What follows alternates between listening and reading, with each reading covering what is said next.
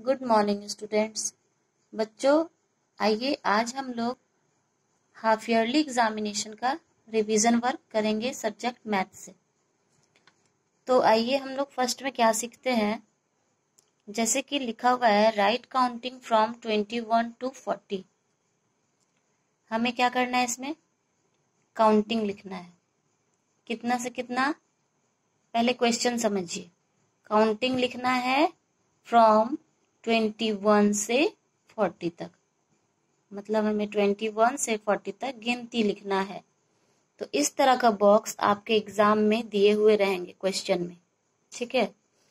तो ये मैंने फिल कर दिया है, लेकिन आप लोग को एग्ज़ाम में खुद से भरना होगा। ठीक है? तो हमें कहाँ से स्टार्ट करना होगा?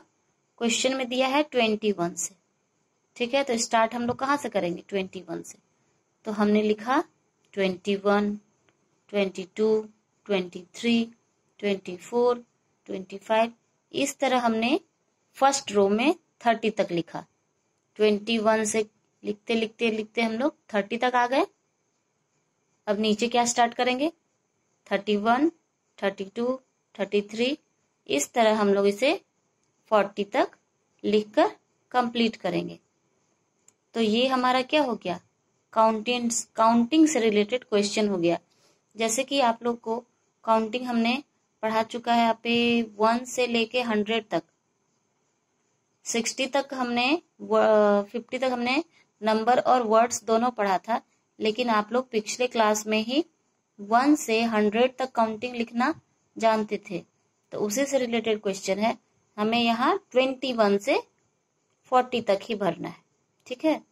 तो इसमें आप लोग को कोई परेशानी नहीं आनी चाहिए। जैसे टू वन ट्वेंटी वन से स्टार्ट होता है। तो two one twenty two twenty three इस तरह हम लोग थर्टी तक कंप्लीट करेंगे और थर्टी तक खत्म हुआ तो फिर यहाँ स्टार्ट हो जाएगा थर्टी वन से। तो thirty one thirty two thirty three thirty four इस तरह लिखते लिखते लास्ट में फोर्टी तक हम लोग इसको एंड करेंगे। ठीक है? तो अगले नेक्स्ट क्वेश्चन हम लोग अगले क्लास में सीखेंगे।